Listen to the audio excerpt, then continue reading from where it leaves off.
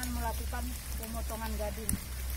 Jadi gadingnya dipotongnya itu sampai, sampai ke pangkalnya dengan memotong pangkal belalai.